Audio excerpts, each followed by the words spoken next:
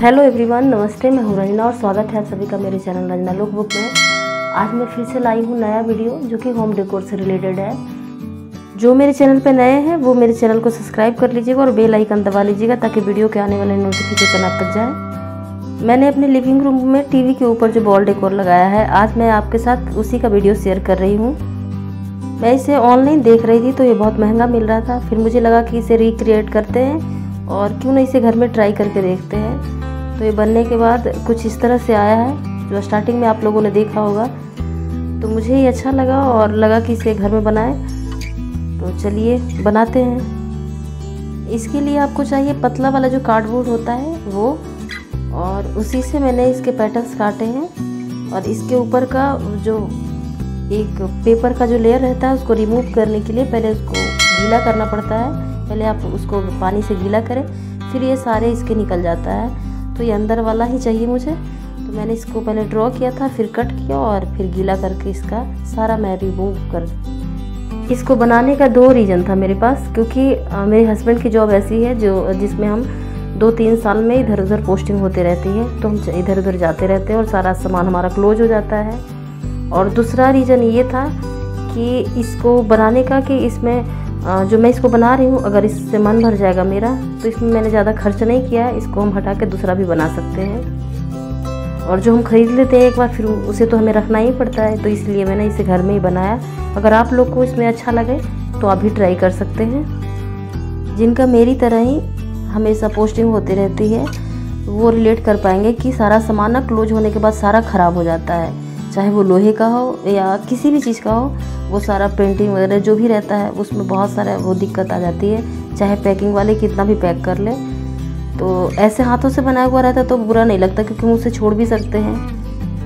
इन पत्तियों को रियल दिखने के लिए इन पर ग्लू से मैंने लाइन बनाए हैं और ग्रीन कलर से सभी को कलर कर लिया है। कुछ पत्तियाँ लंबी और कुछ छोटी हैं।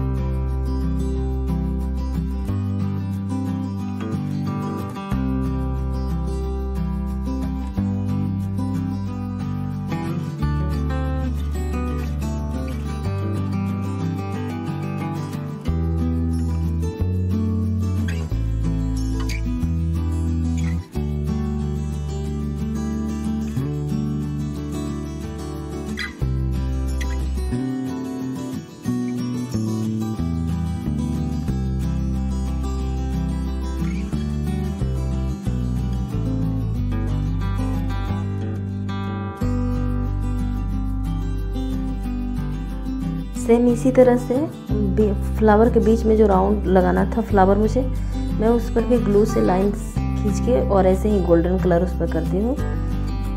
और मेरे पास सिल्वर कलर नहीं था तो मैं सिल्वर का डस्ट था मेरे पास। और आपको बता दूँ कि अगर आपके पास गोल्डन का भी डस्ट हो तो आप सेम इसी तरह से, सेम प्रोसेस है इसी तरह से आप अप्लाई कर सकते हैं।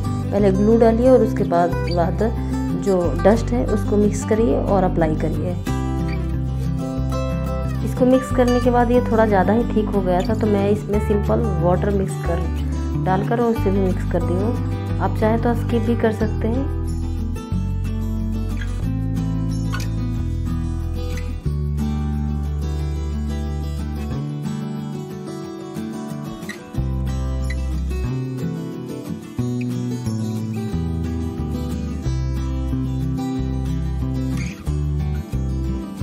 इन सभी को कलर करने के बाद मैं रख दी थी नेक्स्ट डे असेंबल करने के लिए।